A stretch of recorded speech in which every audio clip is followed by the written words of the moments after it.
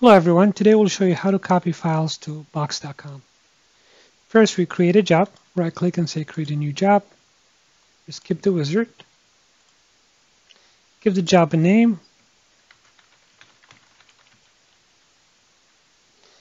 Source type, which is where we want to copy from. In this case we're copying from a local disk. If you wanted to copy from a remote location such as cloud storage, you would select, select it here. In this case we're choosing local disk. We're going to browse to it. We're going to copy share one. It's a small folder just for testing purposes. Copy files instantly. Destination. Now in destination, we select, click on the drop down, we select box as our cloud provider. And then in here, we would want to select the account if we have one. But in this case, we're going to add a new account.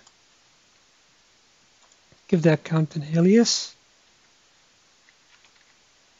box alias just for testing. Now you want to click on Authenticate. We'll open up a web browser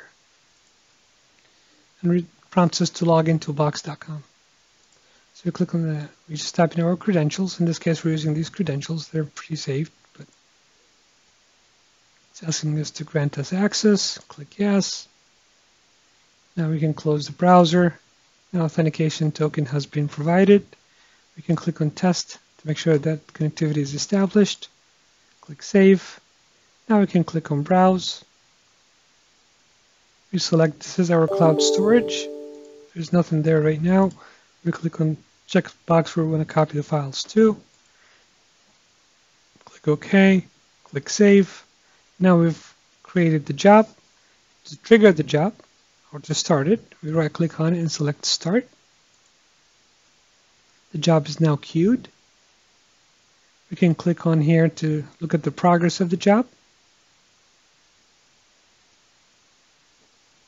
It's connecting.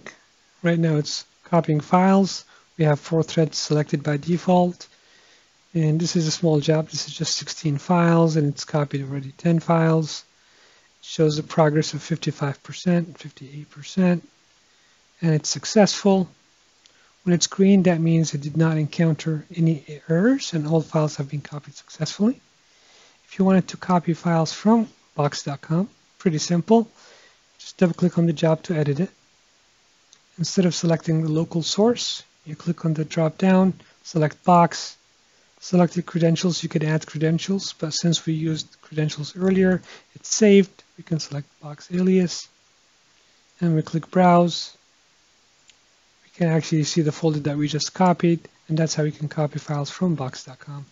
And as far as destination, you just select the destination you want to copy to, and save it, and you run the job, and that will copy from box.com. Hopefully this was informative to you, uh, and thank you for viewing.